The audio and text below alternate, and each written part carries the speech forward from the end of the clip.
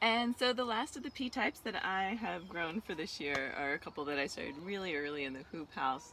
And they are about played out and with the hot temperatures and being in the hoop house, they're sadly going to be done for for a couple of, well, they're going to be done for because the heat is just going to get too much and they're going to be, they're going to tap out and be done.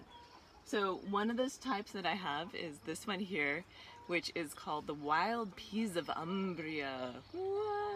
So uh, I thought that would be fun to try just because it's, you know, wild peas and of Umbria. So maybe there is uh, some like landrace characteristics or um, just general more historic genetics within it that we can like utilize as a comparison between the two.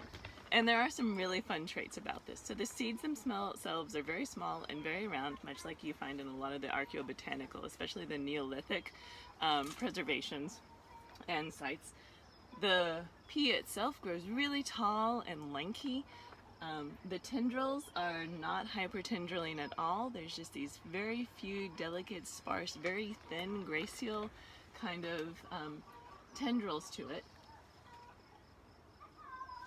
Oof. The flower themselves are beautiful.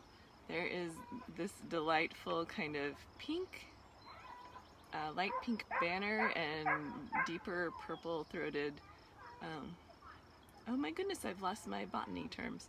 Anyway, the other part of the pea flower, that's not the banner. Um, they're tasty. And then the peas themselves are very delicate. They're small, which makes sense, right? Because most domestication qualities is that we're looking for bigger um, pods, easier to harvest kind of things. But Oh my goodness. Some beautiful plump pea pods that exist within that. So that is going to be really fun.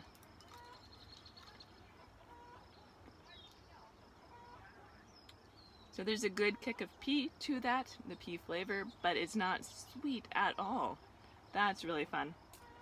And again, we're getting into that membrane aspect that um, Gerard speaks of, of one of the main differentiations between your garden pea with, that does not have a membrane and some of your other peas. So that's pretty cool. And then the other one that I have growing in here is a varietal called Admiral. And, ooh, this poor thing. It is done for the year. Anyway, so Admiral is a modern field pea. And a lot of times you'll hear these things um, called field peas and they're used modernly for cover crops. and they don't give a care at all for what the pea actually tastes like. So I'm curious with this named varietal if what the pea will taste like. It is a white pea. So I'm really excited to compare the white peas of Admiral field peas to the more um, darker, browner, speckly, beautiful colored peas of our heirloom peas that I have growing outside. You can tell that it is that really super hyper, hyper tendriline characteristics. I mean, look at this tangled mess of just tendrils upon tendrils holding each other up. And then with that, the pea themselves, I mean, it's fairly standard pea pod look to it at all.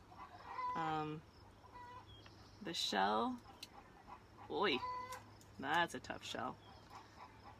There's some really nice sized peas hiding out in there. Huh. Oh. Wowzers, that's an unfortunate end to this pea adventure.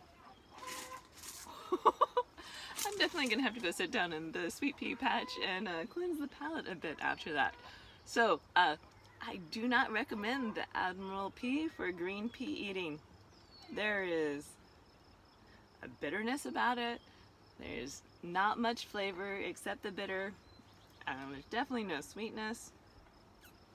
I, I don't hold much hope for this tasting good when it comes to dry pea times. But we'll see. We'll see. I know I, I, I am biased to want to confirm my original hypothesis that modern field peas are disgusting. Um, but it looks like all things are pointing in that direction. Alright, so yeah, there's some other peas I'm growing. Ah, did I mention the wild peas of Umbria? They're lovely. oh my gosh.